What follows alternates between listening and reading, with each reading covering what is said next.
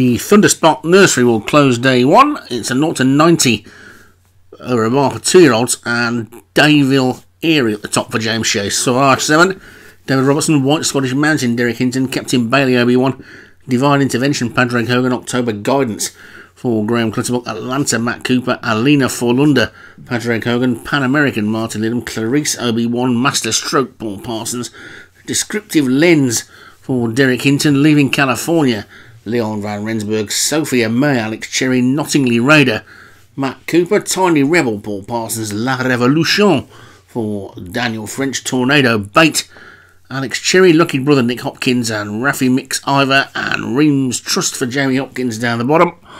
Big old feel for this one, and away they go. Uh, one or two of those who are drawn wide may well have a few problems when they get round the turn.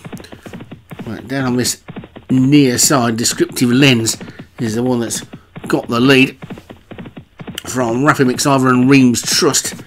Looking right over on that wide outside, you can see. I think it's at, is it Atlanta or is it King? Is it is it Nottingley Raider? I can't really tell.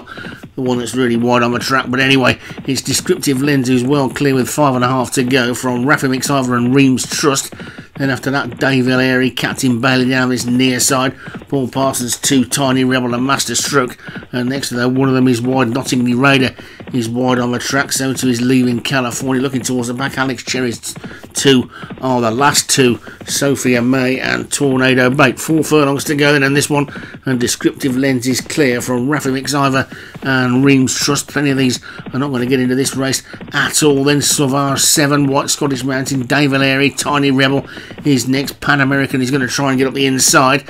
Towards the back, Clarice has now dropped to the back, but it's Descriptive Lens who's got the lead from Reams Trust Pan American now coming through with La Revolution.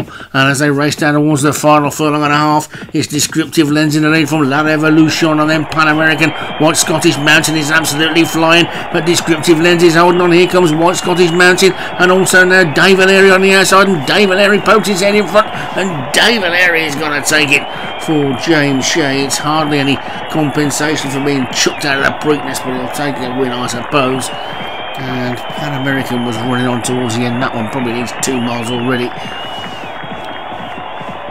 But it's a win for Dave Airy or James Shea. White Scottish Mountain was second for Derek Hinton. Captain Bailey for Obi-Wan third. Reams Trust, Jamie Hopkins was fourth. And Tornado Bait for Alex Cherry was back in fifth. That's your day one. And we're back tomorrow with day two.